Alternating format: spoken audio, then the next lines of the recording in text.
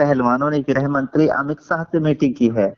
और इस मीटिंग के बारे में किसी को बताया भी नहीं है। कई दिनों बाद मीटिंग जबकि ये दो या तीन तारीख को हुई है और अब इसके बारे में बताया है। तो इसको लेकर जो किसान संगठनों के जो नेता है और खाप पंचायतों के चौधरी हैं, पहलवानों से वो नाराज़ है। एक तरह उनको अंधेरे में रखकर ये मुलाकात की है। कहीं ना कहीं उन सबके साथ ये विश्वासघात है।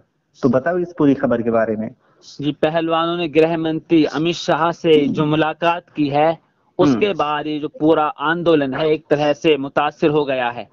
हम्म। अब इसमें ना तो जान बाकी रही है और हम्म। जो इस आंदोलन की एक स्पिरिट थी एक ताकत थी वो भी अब खत्म होती दिखाई दे रही है।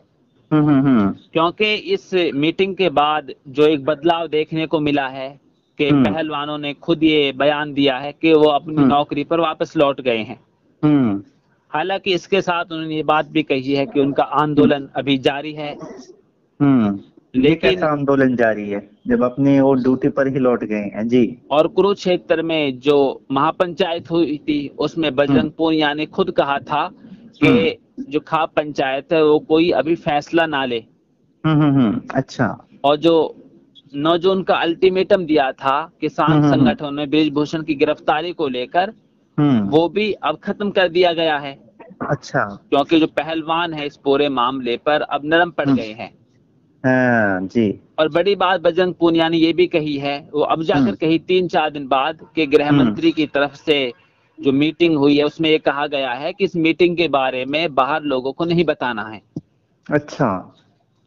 तो अब इससे जो किसान संगठनों के नेता हैं राकेश टिकैत हैं वो इससे साफ़ तौर से नाराज़ हैं। हम्म। क्योंकि उनको बताए बगैर हम्म। ये जो मीटिंग हुई है सबसे पहले तो ये पहलवान लगातार कह रहे थे कि हम जो भी कुछ करेंगे जो हमारे बड़े बुज़ुर्ग है हमारे साथ जो किसान नेता है खाप पंचायतों के चौधरी है कि वो जो कुछ उनसे हम सलाह मशूरा लेकर जो भी कुछ करेंगे इस आंदोलन को आगे लेकर बढ़ेंगे तो उनको ज़रूर साथ में लेंगे।